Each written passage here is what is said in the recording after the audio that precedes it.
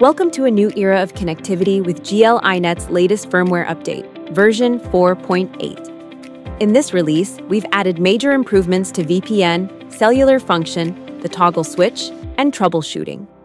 In this video, we'll walk you through each feature so you don't miss anything. Kill Switch prevents traffic leaks by automatically blocking internet access when the tunnel is enabled, but the VPN connection fails or is unexpectedly disconnected. There are two VPN modes in firmware 4.8 Global Mode and Policy Mode. Let's begin with Global Mode. You can click the menu button or go directly to Open VPN Client or WireGuard Client to find your preferred VPN. Log in with your VPN account here. Next, choose the VPN server location you want to use, and then click Apply. After that, go back to the VPN dashboard and click here to select a configuration file. Choose the configuration file you like and click Apply to save it. Now, click here to turn on the VPN. Wait a few moments for the connection to be established. Once the VPN connects successfully, you'll see the status update here. Now let's switch from global mode to policy mode. In policy mode, you can create multiple tunnels for different devices and destinations. By default, the first tunnel is set to all clients and all targets, routed through the selected VPN service. First, let's create a device-based tunnel. We can give this tunnel a custom name, for example, test. Click apply and you'll see your new tunnel appear here. In the first tunnel, we can choose specific connection types, such as LAN, drop-in gateway, or guest network. Then under Specified Devices, we can select a specific device, for example this Mac, and click Apply.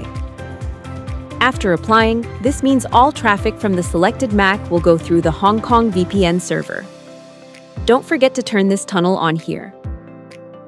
For the second tunnel, you can choose a new VPN provider or one of your own configuration files.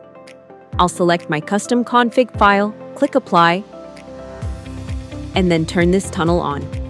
In this example, all traffic from the first device tunnel goes through Hong Kong, and all remaining devices in traffic are matched by the second tunnel and go through Singapore.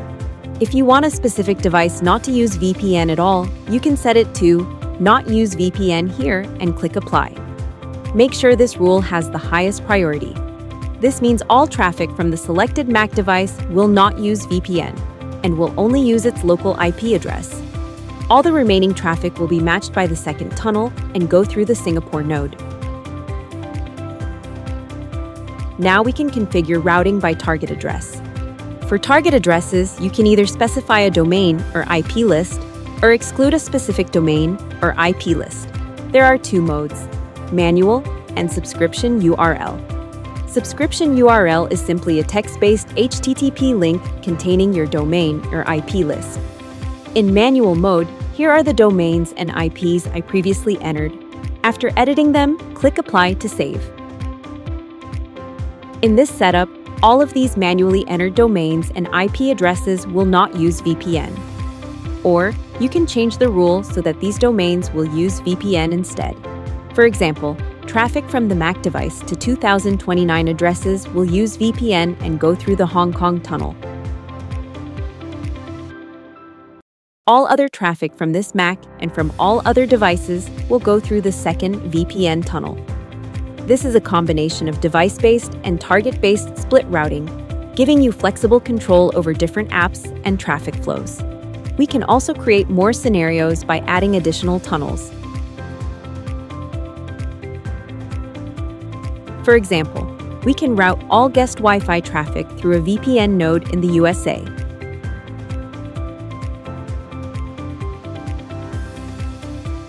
Then, we can send all specified domains from all other devices through a Singapore node.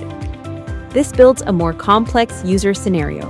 Our VPN tunnels follow priority from top to bottom. First, the MAC 2029 traffic goes through Hong Kong. Second, all traffic from guest Wi-Fi devices goes through the USA node. Third, Baidu traffic from all devices goes through the Singapore node. Traffic is matched according to this order from highest to lowest priority Priority 1, Priority 2, and Priority 3. For all other traffic, that is, any VPN traffic not matched by your tunnels, you have two options allow non VPN traffic or enable enhanced kill switch. Now let's take a closer look at the VPN tunnel options. Kill switch is enabled by default. When kill switch is on, if this tunnel's node fails, its traffic will not be matched by any other tunnel. In other words, your traffic will not leak outside the rule you set for this tunnel. When kill switch is active, you can see a label here. If it's off, this label will disappear. Next, let's look at the cellular function. We'll use the Puli AX as our example.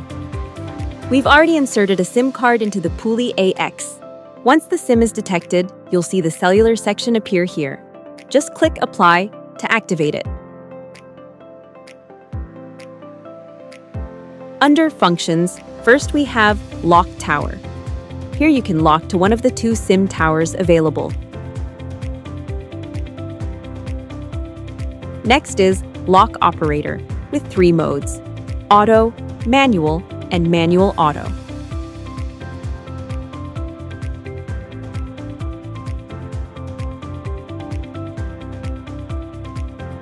SIM card switch makes it easy to switch between SIM cards with just one click.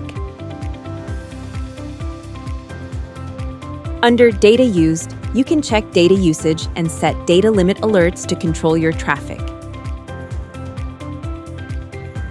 In SIM card settings, you can configure APN and other SIM-related options. You can view historical signal records here, helping you analyze signal quality over time. Now let's configure the physical toggle switch on the router. Go to System, then Toggle Button Settings. By default, there's no function assigned to the toggle button, Click here to see all the available functions. Here, I'll set the function to VPN Primary Tunnel.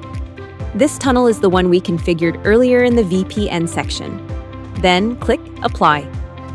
On the Beryl AX, when we flip the toggle to off, the VPN tunnel is turned off in the interface. When we turn the toggle back on, the status first turns orange, which means it's connecting. Once it's successfully connected, it turns green to show that the VPN is active. Finally, let's look at troubleshooting. Go to System and then Log. Here, you can contact support directly from the interface. Just fill in the form and send it to us. Our team will help you as soon as possible. Or you can simply export the log file here and share it with support. No more screenshots, just hit export.